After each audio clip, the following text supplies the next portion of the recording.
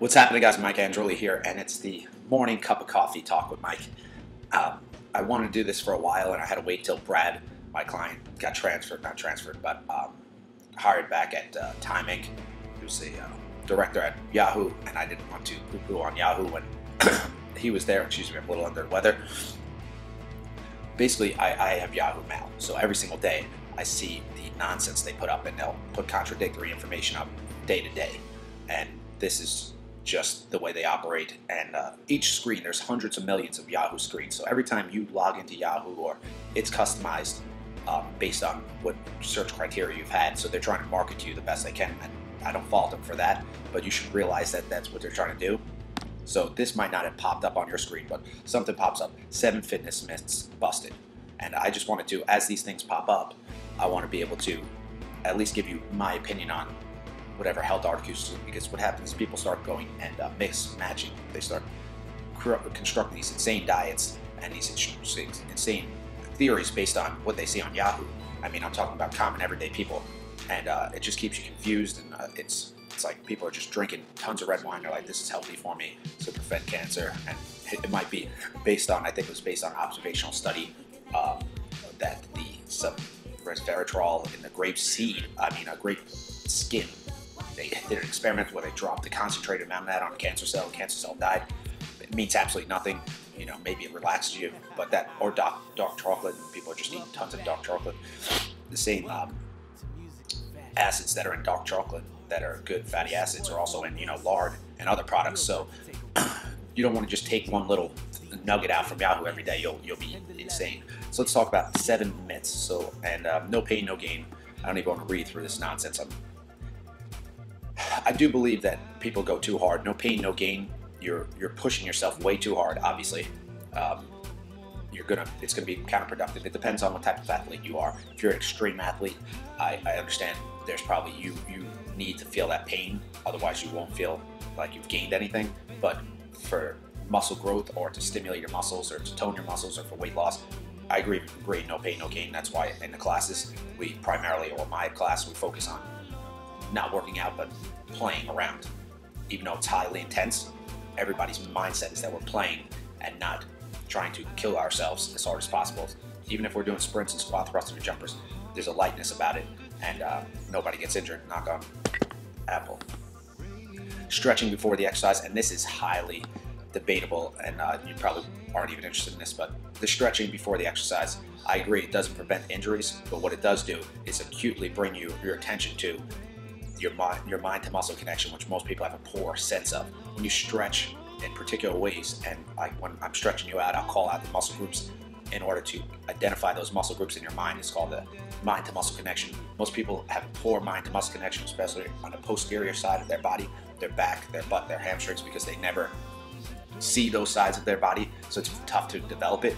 And um, every time you develop that mind to muscle connection, every exercise, everything you do is going to be better it's going to be more explosive. You'll be able to tune in to more muscles every single time you use it. So the best thing to do is do light, not like super. You're not trying to do a full split um, cold. You want to warm your body up. That's why we do high knees, we do jumping jacks, jump rope, and then immediately go into some type of movement where you're, um, you know, mountain climber warm ups, where it's kind of a dynamic stretch and a stretch at the same time. I find this to be the best. Take it from me. I do what 20 classes a week for the last 16 years. So, do the math. I've maybe had five injuries in the entire history of me teaching. I mean, people getting five injuries and hundreds of people in class. Why is that? One, your mental state is extremely important. The reason why a lot of people get injured, I shouldn't put out the two yet. The reason why a lot of people are getting injured is because they are not fully focused on the activity at hand. And if you start thinking about how, you know, a huge problem in your life while you're training and you're doing a sprint and you're distracted, that's when you get injured. So when you're going 80%, that's when you get injured. You have to have 100% focus. The part of your brain that is at work when you're thinking about solving a problem is going to be a different part of your brain than you should be working when you're working out. It should be more, uh, I don't want to say animalistic, but yes, you should. There should be no thought. You shouldn't say, uh, "I forgot to pick up the milk," and that's when you'll twist your ankle. Also, make sure if you have an injury like an ankle or knee, you have to rehab it correctly. Unfortunately, most physical therapists chiropractors will just sell you on nonsense. There's a lot of good ones, there's a lot of bad ones, just like doctors. A lot of great doctors, a lot of terrible doctors. Uh, you need to make informed decisions on your own, but you have to rehab injuries, especially ankles, because you never get the sensitivity back when you sprain the ankle if you don't rehab it. So you'll sprain it over and over and over again because you need to do balance drills regain the sensitivity. Also, your sneakers and uh, no Fleet Feet is a Hoboken high-end shoe shop, and they're experts on uh, uh, feet and, and what shoe you should wear, and also the doctors with the orthotics. I think most of it's nonsense. I think the higher the um, tread or sneaker, the more likely you, you are to not be able to feel the sensitivity in your ankle. So if you got if you're walking around like that and your foot is just way up and you're, you're just focused on support, at, at some point, you know, and the, the heel is up higher than the ball of the foot, or the ball of foot is higher than the, the heel, you need to know where your foot is. That's why I use the Vibrams, not because I want to look cool, because I certainly get enough YouTube pay from it. You have to push off the ball of your foot and feel it the way you should stand with a bare foot. And by now, I would say about half the people I meet have flat feet, so I'm assuming flat feet is not a genetic problem. Sure, it's bad for long distance running. Ice skates, it's terrible if you want to force your arch up. But if you keep the weight on the balls the feet, you'll be fine. You don't overwork. Don't overwork either. This leads me on to another tangent. A lot of long distance runners, a lot of triathletes, they are pushing themselves past the pain, the pain in the ankle, pain in the knee. I appreciate their toughness, but those injuries aren't going to go away. You're repeating a motion over and over for miles and miles. You're going to get severe injury. This is not, this isn't necessary for you to be optimally healthy or to look the way you want to. So keep that in mind. Just because, uh, back to no pain, no gain, you don't want to injure yourself and uh, always have that nagging injury because you repeated a motion. Some people are set up for long distance running. Their bodies are, are slender. They, they don't have a lot of muscle mass. Some people are set up for explosive movements. So you should kind of, of course, you should push yourself, but don't don't injure yourself. Okay, it's it's silly, it's silliness. So, exercise speeds up your metabolism for hours. Uh, I've heard this before. Obviously, you know, especially weight training, they say it burns more calories. Uh, your metabolism, all of that, it's really what are you eating? It's, it's a huge question. What are you eating? What is your goal? So if your goal is to lose body fat, you should be eating a particular diet. If your goal is for performance, a particular diet. If your goal is to put on muscle mass, it's a particular diet for that. And then from there, you have to self-experiment to see what works, what does not work. Eating and just exercising to speed up your metabolism. It doesn't really work. Um, maybe for weight training, because what you're going to do is you do a heavy weight training uh, exercise and uh, uh, workout you're going to eat, and most of the calories to be partitioned to go to muscle fibers and regrowth of the muscles and not into your fat cells. Yeah, you, we have to talk about this one on one because I really need to know your goals. I don't want to give out general information. If it's for body fat loss, email me, mike at ckotrainer.com. We'll talk about that one on one. See what else they got for me. Crunches lead to a six pack. Yes, I dispel this rumor all the time. Listen, ab exercises, and nobody's, you'll listen to this and then you'll go buy an ab master after this all the ab exercises, most of the ab models out there, don't do anything particular for their six pack. It's low body fat. Okay, most of them are genetic freaks. They don't even know how they got a six pack. You need to, uh, ab exercises are more important to work the transverse or abdominal muscles, the ones on the inside that can pull the stomach in. I believe the vacuums, if you look at my vacuum exercise, uh, belly button's being pulled in and up, it's probably more important than doing straight crunches. You want to work full body moves. That's why we do Jersey Shore crunches. We do uh, copyright 1997, by the way.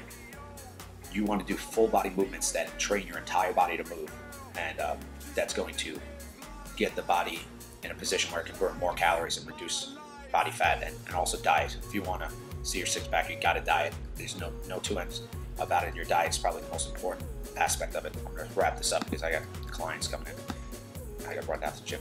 Running on a treadmill is easier on the knees. I mean, really, if your knees are bothering you on running, it's that repeated motion. You're repeating a motion over and over and over.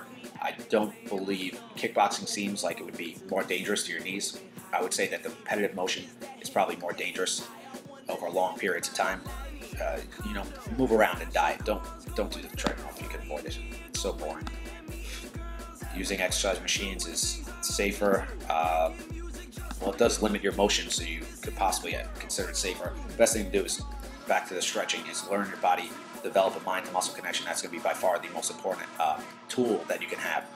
You want to develop in your brain, you want to be able to control as many muscle fibers in your body as possible, and then you'll automatically know how to do lifts. You'll automatically know how to do movements. I can throw you into a kickboxing class, a jazzercise class, a you know gymnastics class, and you're you'll know how to trigger the muscle fibers in the right sequence to give you the ability to do any move. So that's probably the biggest skill. So you're not just doing exercise to get through the exercise, you're doing exercises to build and develop skills within your body. Hopefully, this has been uh, enjoyable. It's been everything. It's been a rant, and uh, I'll do this more often. Morning Cup of Joe with Mike.